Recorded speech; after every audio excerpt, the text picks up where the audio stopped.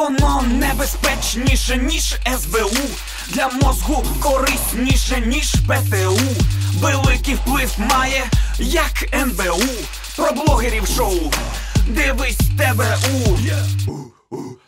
Вітаю вас, дорогі друзі! З вами програма ТБУ то блогери України і я її ведучий Тарік Назавешко. Сьогодні у мене в гостях юрист, людина, яка займається питаннями переселенців, Геннадій Борисичев. Здравствуйте. Вітаю знов у нас в студії. Я радий, що ми вже другий раз е, зустрічаємось. Є деякі питання, які б хотілося б ще раз обговорити, і хотілося б поговорити про щось нове. С удовольствием обговорим. Я хотів би запитати наступне: які саме питання виникають частіше за все у переселенців? С корабля на бал сразу же. Зразу, да, ми не Да, будемо це відтягувати. Дело в том, что переселенцы, люди, которые переселились вынужденно, вот, они постепенно адаптируются на тех территориях, на которых уже живут больше пяти с пол- с половиной лет. Поэтому в ка- каждый год проблемы совершенно разные. Но номер один проблема – это вопрос жилья. Люди на протяжении пяти с половиной лет, большая часть переселенцев, подавляющее число, арендуют жилье за ну, достаточно космические деньги. И даже из-за того, что госреестр по отчуждению недвижимого имущества закрыт на территории неподконтрольной Украине, они даже тем имуществом распорядиться не могут. А условно россияне и приезжие на неподконтрольные территории и люди, которые подтянулись с определенных сельских, э, сельской местности, предлагают за такие квартиры, за дома цену 8-7 раз ниже от той, которая была до войны. Поэтому номер один – это, конечно же, вопрос жилья. И не- можно также отметить вопрос э, легитимности документов. Например, человек умер на той территории родственник, нужно в суд обращаться, через суд устанавливать факт смерти. То есть определенная процедура, которая через линию разграничения занимает э, длительный промежуток времени. Я не впевнений на 100%, але мені здається, десь місяць тому були Вони- угоджені Да. безпосередньо якісь. е, Они попытались его урегулировать, но на практике этот механизм еще не работает. Поэтому, если кто-то умер, то есть они обязали признавать документы ЛДНР, так называемых, например, свидетельство о смерти, чтобы наши органы РАКСа признавали эти документы. Но так как э, импульс еще до конца не дошел, органы РАКСа до сих пор подстраховываются, заворачивают людей и направляют их в суд. Тоді хотів би е, трохи іншу ситуацію е, розглянути. Дивіться, у мене є знайомі люди, які в принципі мають можливість. Тобто вони переселенці, але вони мають можливість е, купити собі квартиру. Але кажуть, що я не хочу змінювати свою прописку в Донецьку, тому що, мовляв, мені набагато легше з цією пропискою зробити перепустку для того, щоб їздити в Донецьк до своїх батьків, які там залишилися. Наскільки це відповідає дійсності? 50 на 50. Во-первых, э, практически все переселенцы есть в базе данных СБУ. И по каждой фамилии, числу, месяцу и года рождения можно определить, где человек был, где родился, где жил, когда, куда переехал. Поэтому наличие донецкой прописки или луганской прописки никак не повлияет на выдачу разрешения этому человеку от СБУ на пересечение линии разграничения. Другое дело – блокпосты так называемых ЛДНР, ко- которые на наличие донецкой прописки действительно обращают внимание. И не страшно на самом деле, если эта прописка аннулирована, то есть в паспорте перечеркнуто стоит крестик, и стоит, например, свежая киевская прописка. Намного страшнее, если паспорт совершенно новый, и никаких следов о донецком или луганском, например, происхождении нет. Тогда так называемые представители ЛДНР, МГБ направляют людей на дополнительные опросы, где берут у них дополнительные пояснения, отбирают определенные контакты, досматривают личные вещи. Ну, немножко процедура усложняется. Но в общем, э, никаких проблем с пересечением линии разграничения нет. Я сам периодически посещаю Донецк, проведаю своих родственников. И могу сказать, что Ну це зараз немає. Тобто ситуація поліпшилась, чи завжди було те, що ви кажете, така ситуація? очень остро стоял вопрос э, с донецкой пропиской где-то в 2014, может быть, еще в 2016 годах.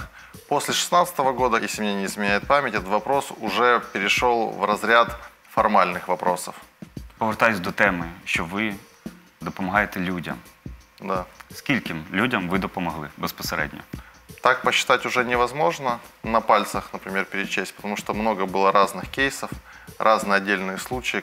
Где-то им нужно было помочь вывести без документов детей, где-то нужно было другие документы оформить, кому-то пролоббировать через, в том числе через суд, признать незаконным действие пенсионного фонда, чтобы человеку начали начислять пенсию, которую незаконно по 365 постановлению отменили или, или, например, другие социальные выплаты. Но данный вопрос не совсем корректен, особенно к общественным деятелям и правозащитникам. Конкретно скольким людям вы взяли и помогли. Я скажу так. Нет смысла на нерегулируемом перекрестке каждый день переводить бабушек через дорогу. Ваша жизнь рано или поздно истечет, а бабушки как были, так и останутся. Намного лучше поставить светофор на этот перекресток, и чтобы этот перекресток стал регулируемым по закону. Вот так и здесь. Любой правозащитник, любой опытный политик, он занимается вопросами э, системообразующими, вопросами, которые могут в дальнейшем по- помочь большому количеству людей. Но и частные случаи случаются. Но правильно все-таки не распыляться, а заниматься системообразующими вопросами. Это не может быть ни в коем случае кому-то упреком. Например, я знаю правозащитников, которые уверен в, частном, в частных случаях никому ни разу не помогли. Ну, нет у них на это рычагов, нет доступа к власти, но они ходят на телеканалы, они поднимают на конференциях социальные вопросы, они пишут законопроекты, вносят через депутатов в эти законопроекты поправки. То есть вносят свой посильный вклад. От каждого по возможностям. Тем более от правозащитника спрашивать конкретно, что ты сделал, невозможно. Он не получает зарплату, он это делает в свободное от работы время, по большому счету за свой счет себе в убыток. Тобто, то, що е, стосується перейменування вулиць, то, що ви безпосередньо приймаєте участь в тому, щоб вулиця, наприклад, Ватутіна повернули свої назви, е, це теж можна сказати та Так, діяльність. посмотрите, я по профессии адвокат по уголовным делам. Я вам скажу, что когда я не занимался до войны, не занимался практически вообще общественной деятельностью, максимум мог сделать скворечник или какую-нибудь больную собаку отвезти к ветеринару за свой счет. На это моя На общественная... усыпление, да? Нет, А, не на усыпление, на лечение. Хорошая шутка, но очень черная. Я просто животных люблю больше, чем людей, поэтому немножко некорректно. Ну, це відчувається, да. Ну, да. Да, да, хорошо сказали. Поэтому просто люди сами виноваты в тех событиях, которые с ними происходят. А бездомные животные, к сожалению, не, не виноваты, что живут в каменных джунглях, где люди не смогли для них найти определенное место. Про що хочу сказати, я бачив е, відео в інтернеті є, де ви розмовляєте безпосередньо з е, такими радикальними е, хлопцями, які розказують, що треба залишити там вулицю Шухевича, там е, Бандери, а ви кажете, що в принципі давайте це рішення буде е, За судом. так, да. Вони вам погрожували? Скажіть отак чесно, Тарик, ці люди. А мені Я- цікаво. нет, вам цікаво, Да. а я відповім. Давайте. Во-первых, а ви цікаво во-первых, відповіли. да, еще раз, я повторюсь. До того момента, как я, занимал, как я начал заниматься общественной деятельностью, тратить на это время и свои силы, в том числе и финансовые средства, я с точки зрения материальной обеспеченности был намного обеспеченнее. Почему? Потому что ты целыми днями утром просыпаешься и думаешь, где заработать деньги, как заработать и как эти деньги приумножить. И еще правильно потратить рационально. Когда человек начинает заниматься общественной деятельностью, если он условно не грантоед и не питается от иностранных фондов, а я никогда ни копейки, ни, ни копейки не получил из иностранных фондов. Мой день делится на две части. Первая часть с утра. Где взять деньги? Где их зарабатывать и что непосредственно мне по работе нужно выполнить по юриспруденции. И вторая часть дня, условно вторая часть дня, что я сегодня сделал на благо обществу, с кем я провел переговоры, каких людей я объединил, что я сделал. Теперь по поводу радикалов. Да, действительно, я принимал участие в качестве свободного слушателя на судах в Киевском апелляционном суде, где рассматривается дело по переименованию улиц. Первый, первая инстанция признала, что улицы переименованы незаконно, и теперь в данный момент дело находится же, как повторюсь, в апелляционной инстанции. Э, Что я могу сказать со своей стороны? Да, угрозы были. Один человек сказал, ты скоро умрешь. Но, как вы знаете, собака, которая лает, не кусает. Поэтому я, наверное, себя таким способом успокаиваю. Волков боятся, в лес не ходить. Есть народная русская пословица. Поэтому я считаю, что нужно делать то, что ты должен делать, и будь что будет. Но э, не участвовать в подобных мероприятиях, не отстаивать свою позицию системно, когда общество наше на грани, по большому счету, распада, разложилось на многие подкатегории, то есть поделилось, мне кажется, это не совсем честно, даже с, с мужской точки зрения. Пройдут годы, понятно, и так называемые националисты, которые я приравниваю к фашистам, к нацистам, вот, они тоже куда-то рассосутся, разбегутся. И у меня внуки и дети спросят, папа или дедушка, что ты сделал в своей молодости? Прадедушка. Да, да, надеюсь, про дедушка, да. Хотя в нашей стране вряд ли. Да, вы сами понимаете. Почему так произошло? А что ты тогда делал? Я должен сказать, что да, например, если даже что-то у меня не получилось, я должен буду честно признаться и сказать, вот я не получилось, но я сделал раз, два, три, я пытался с, с этой стороны подойти к вопросу, с этой стороны я пытался влиять на эти процессы. То есть очень важно не думать, насколько ты будешь успешен. Это все вырабатывается уже в процессе правозащитной деятельности. Важно, что ты предпринимаешь такие попытки, и самое главное, попытки, и вы это знаете, попытки объединить людей вокруг одной идеи. Как, например, вопрос по земле, по продаже земли. Да, До Когда? речі, хотів це питання вам задати, тому що А я я так йду на бачу, що опереження. дуже е, різноманітна там Публика, е, публіка да. збирається. Тобто, Там есть люди, которые откровенно говорят, та же Надя Савченко, которая поддерживает Бандеру, слава Украине, героям слава, как она кричит. И есть там Александр Семченко, для которого, например, Бандера является, как и для меня, политическим и военным преступником, наверное, больше политическим преступником. тобто питання землі воно настільки важливе, що навіть такі різноманітні люди між собою знайшли якусь спільну мову. Я бы не сказал, что люди знайшли спільну мову. Я бы сказал, что это ситуативный союз э, людей разных политических взглядов на многие м, процессы, которые э, действительно боятся потерять, наверное, какие-то, какую-то основу.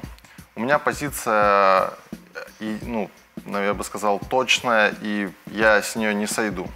Земля никогда не может быть объектом э, продажи. Не может быть она. Может быть прода- объектом продажи все то, что выращено на земле человеческими руками. К чему человек имеет отношение с точки зрения создал своими руками что-то, то он и может продавать. Если к земле он никакого отношения к ее созданию не имел, то и продавать он не может. Мы ее должны оставить своим предкам. Это принципиальная позиция, которую я готов озвучивать э, всегда, везде и в любое время суток. Я считаю, что она и с точки зрения эм, разумности, и с точки зрения, наверное, каких-то вот христианских ценностей более правильная, более верная.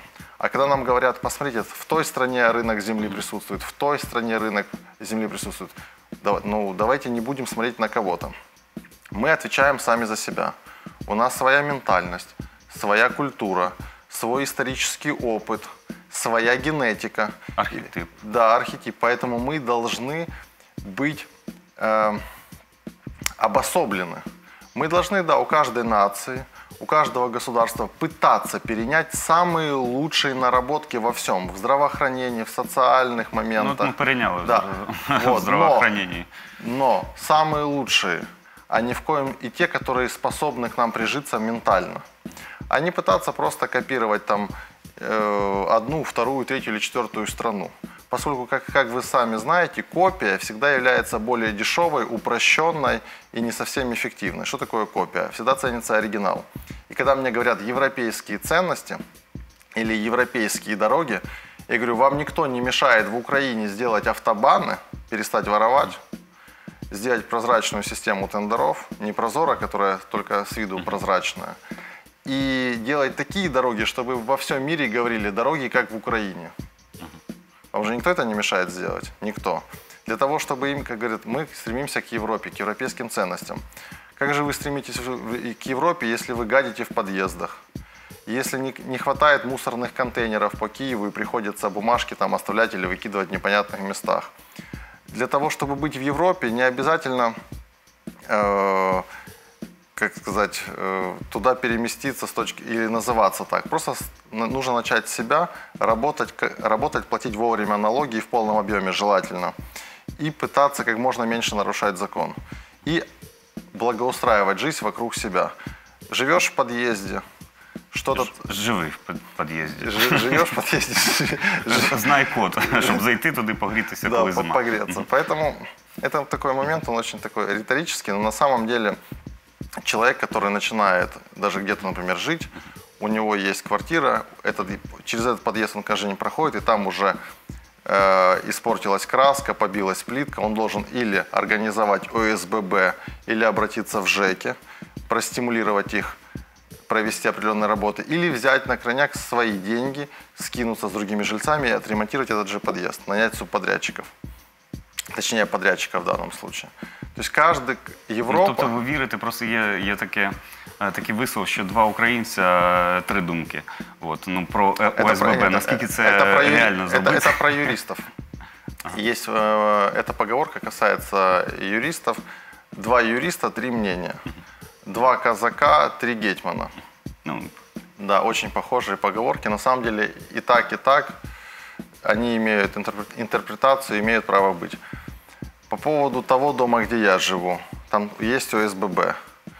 Люди собираются, люди голосуют, и глава ОСББ в зависимости от отчислений и в зависимости от голосов, желания жителей сделать ту или иную услугу в нашем доме, голосуют и ее делают. Это нормальная практика, я считаю, в современном урбанизированном мире за ОСББ 100% будущее. Централизованные ЖЭКи, к сожалению, не смогут уже выполнять такой перечень больших работ. Особенно в многоэтажных домах, где 30 этажей, 35 этажей, даже 20 этажей. Достаточно сложно будет. Геннадій, я от вас слухаю, дуже цікаво, ви все розповідаєте. Хотілося б трохи повернутися на, на початок нашої розмови. Просто я зробив висновок, що ви, в принципі, людина альтруїст. Да? Тобто ви, ви кажете, що ви не берете якихось грошей з грантів, е, там, з якихось е, організацій. Просто в мене таке питання виникає. Ну, по-перше, гроші треба заробляти, а по-друге, є фотографія, де ви безпосередньо з Юлією Володимирівною Тимошенко сидите за одним столом і щось підписуєте. Е, Що це, ну просто мені цікаво, що це було. Це не пов'язано з якимось там грошами, тому що ми знаємо, що Лю- Юлія От, Володимирівна, в принципі, Тарас, Тарас, заможня жінка. А, Тарас, ну смотрите, в чем суть. Давайте будем честными. Давайте. Я не думаю, ш- я думаю, сложно найти человека, которому Юлия Владимировна что-то заплатила в Украине. Это во-первых. Во-вторых, э, в рамках правозащитной нашей деятельности, имея статус главы общественного совета при Министерстве временно оккупированных территорий, подчеркиваю, это общественная должность, это общественные организации собираются между собой и голосуют, кто при министерстве будет представлять мнение общественности.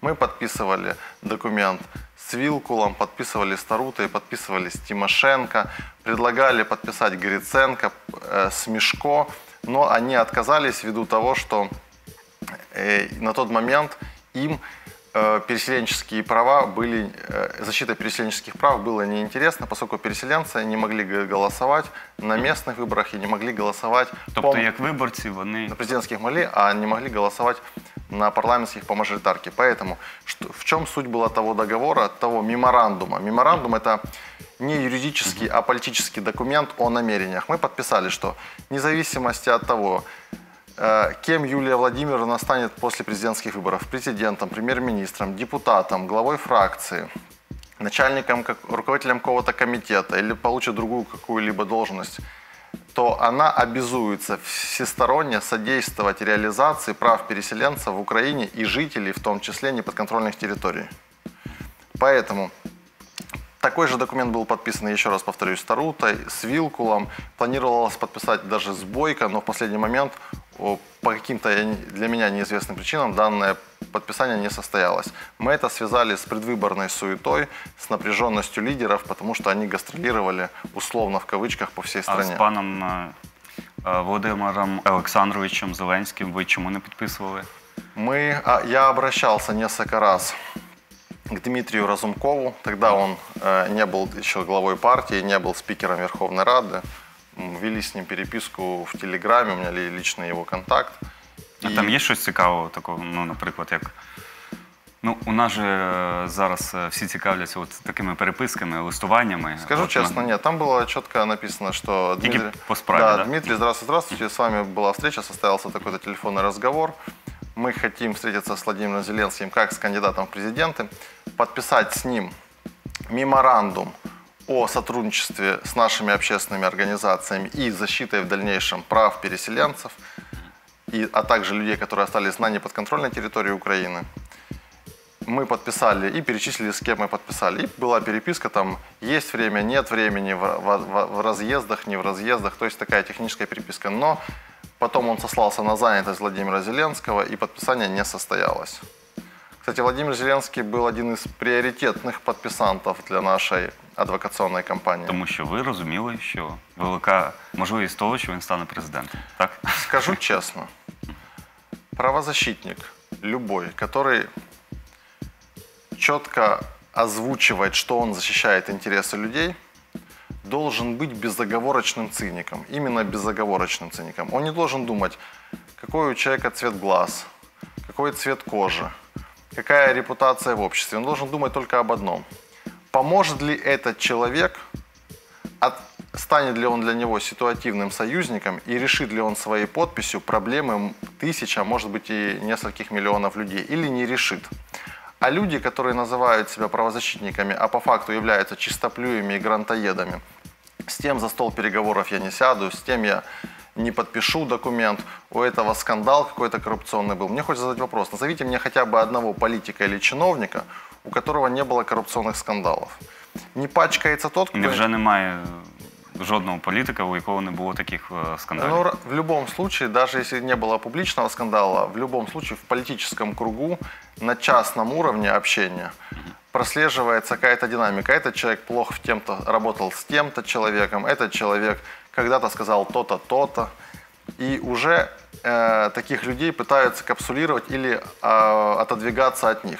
Поэтому я всегда выступал за то, что правозащитник должен убрать свою корону, он должен не думать, что о нем подумают другие, он должен просто безукоризненно делать то, что должен делать. А именно искать любые, подчеркиваю, любые пути выхода из ситуации, чтобы люди, которые идут за ним и интересы которых он представляет, как можно быстрее решили свои вопросы. Люди, которые стоят на блокпостах, не получают пенсию годами, не получают там здравоохранение, определенных услуг. Им абсолютно все равно, с кем я подпишу какой документ. Им главное, чтобы по факту они открыли холодильник, и в этом образно я говорю, в холодильнике что-то появилось. Если в нем ничего не появилось, то бесполезно с чистым, условно чистым политиком или условно нечистым я подпишу, подпишу какой-то документ. Как я ответил на ваш Е, вопрос? Мені дуже Подробно? подобається. Я хочу, щоб ви відповіли на наступне питання. Е, Я вижу, Геннадій, это представте- улыбка, представте- улыбка, вы, наверное, вы так пытаетесь это Вот представьте колка себе- делать. Вы представьте задаете себе. вопрос, а сами улыбаетесь. Да, тому що мені подобається те питання, яке я зараз вам задам. Е, Представте собі наступне: у вас з'явилася лампа Аладдіна, е, ви її потерли, з'явився джин і каже: Геннадій, у вас є можливість загадати три бажання, але ці бажання мають стосуватися лише України. Тобто для себе ви нічого не можете замовити. Які три бажання для України? Ненависть убрать, Чтобы у людей была больше терпимости, это первое желание. Видите, как, как юрист, Так, так, да, в, одно, да, в одно да. желание два за- закладываю. Второе, это момент, э, чтобы ис- искоренить ген воровства, коррупции, вот этот момент, моя хата с краю, я самый умный. И третий момент, что пришел человек, который пожертвует собой, своей политической, политической карьерой ради будущих э, Так, ви дійсно юрист, бо да, кажете три моменти і заги- загинаєте чотири пальця. Добре, дякую. Е, Как, как це, це була наша думка. А тепер давайте в рамках нашого громадського опитування поцікавимось е, думками наших відомих блогерів. І давайте подивимось, що сьогодні вони нам розкажуть. Дивимось. Це ТВУ. Топ-блогери України. Сегодня главным событием Верховной Ради Украины стало принятие закона о Государственном бюро расследований. Это важный орган сам по себе, потому что к нему перешло расследование преступлений топ-чиновников, а также силовых структур, то есть это мегаорган, который контролирует всю верхушку Украины. И вот по нему приняли специальный закон. Речь идет об автоматическом увольнении руководства ГБР после того, как закон вступает в силу. И это, собственно, самое важное. Почему? Как это связано с делами против Порошенко и при чем здесь выборы президента США? Всем известно, что именно Труба вел дела против Порошенко. То есть именно он практически единственный, кто пытался реализовать предвыборные обещания Зеленского насчет посадок. И именно его отправили под нож первым. Что же произошло? Давайте восстановим хронику событий. Еще 30 октября ГБР направила в Генпрокуратуру для согласования проект подозрения Петру Порошенко. Я об этом уже рассказывала. Потом направили повторно, уже в середине ноября, и уже тогда объявили об этом публично. Ответ до сих пор ноль реакции. Представление на снятие неприкосновенности с Порошенко так и не внесено. Но зато пошла другая реакция. 15 ноября, когда в Раде рассматривали поправки к закону о ГБР во втором чтении, внезапно была поставлена на голосование одна поправка о том, что все руководство ГБР автоматически теряет свои должности после вступления в силу нового закона. За поправку не проголосовало почти полсотни слуг народа, зато свои голоса дали Евросолидарность Порошенко и голос Вакарчука. Буквально через Через несколько дней после этого в сети всплывают материалы прослушки трубы в его же кабинете. Прослушка была установлена в вентиляции и в течение нескольких месяцев писались разговоры. Там было много о чем, в основном разговоры трубы с представителями офиса президента по всяким разным уголовным делам. Ничего такого сильно зашкварного не было. Но из разговоров было понятно, что труба с Богданом и его людьми тесно взаимодействует. Далее, буквально вчера, то есть накануне голосования, голосования за закон задерживают Щербину на взятке в размере 150 тысяч долларов за решение вопросов ГБР. Задерживает НАБУ, причем в СМИ сразу идет слив, что Щербина это кум и соратник трубы. И произошло это, повторюсь, как раз накануне голосования за закон о ГБР. И вот сразу после этого и прозвучал призыв Зеленского голосовать за закон, чтобы очистить руководство ГБР. Причем Щербину он назвал стал соратником главы ГБР. И после этого Рада сегодня голосует за закон. Хотя слуги народа снова голосуют далеко не все. Почему этот закон так проталкивала Z-команда? Для того, чтобы ответить на этот вопрос, нужно понимать расклад сил в правоохранительных органах. Во главе МВД остается Аваков. Он сотрудничает с Коломойским, но и с западными структурами в тесном контакте. Бывший посол США в Украине, близкая к демократам Йованович, на слушание в Конгрессе заявила, что Аваков большой друг американцев. Во главе НАБУ у нас Сытник. Это также кадр, которого всемерно поддерживают американцы. Особенно из демократической части истеблишмента. По сути, остается только одно силовое ведомство, которое не находится под контролем вот этого всего западного крыла. Это ГБР. Где сидит Роман Труба, который открывает уголовные дела против Порошенко по заявлениям Портнова. Хотя остальные силовики как-то очень слабо в этом направлении действуют, что тоже неудивительно. Запад уже давно выражает осторожное пожелание, чтобы Порошенко оставили в покое. Но мешает труба, который в конце октября уже направил в Генпрокуратуру первую педозру для Порошенко. Зеленский, который находится в плотном окружении соросят, поставляющих ему соответствующую информацию, и вообще в значительной степени ведущий политику под управлением все того же американского демократического крыла соглашается и дает отмашку. Ну а дальше дело техники. Голосование за поправку, слив прослушки. Прямо перед принятием закона задержание Набу Щербины, которого привязывают к трубе, обращение Зеленского по этому поводу, голосование за закон. Все как по рельсам. Но это такой, друзья, пессимистический сценарий, можно рассмотреть и другой, что все-таки УЗ не захотят так зашквариваться. И, по крайней мере, на место главы ГБР постараются найти такого человека, который при звонке из американского посольства не будет стоять по стойке смирно и который продолжит дела против Порошенко. Тут немає табу. Геннадій, дуже дякую вам за цю цікаву розмову. Я сподіваюся, ну ви другий раз у нас. Сподіваюсь, буде ще третій, четвертий, п'ятий раз е, ви будете приходити до нас в студію. Ми домовились? Домовились, но я вам и с- желаю, чтобы ваши вопросы еще были более острые. Просто для меня ваши вопросы, когда вы улыбались и думали, что задаете мне вопросы сложные, для меня это были на самом деле детские вопросы, поскольку эти, вот я так обесценил, да. Пытаюсь вас вызвать эту злость на следующий Да, эфир. на наступний раз Подготовьтесь, я пожалуйста. обіцяю, обіцяю, що вам буде спекотно. Да я должен покраснеть в эфире несколько раз. Вот я вас Добре. прошу это сделать. Ну, у нас дуже гарний гример, від того я думаю, що вам не вдасться все ж е, бути червоним. Дякую, дякую вам. Е, Дорогі друзі, а на сьогодні це все. З вами була програма ТБУ топ-блогери України. Не забувайте підписуватись на наш YouTube канал, шукайте і знаходьте нас в соціальних мережах. Всього вам найкращого. Па-па.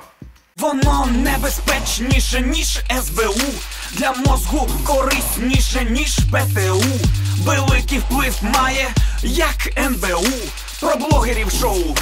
Дивись ТБУ.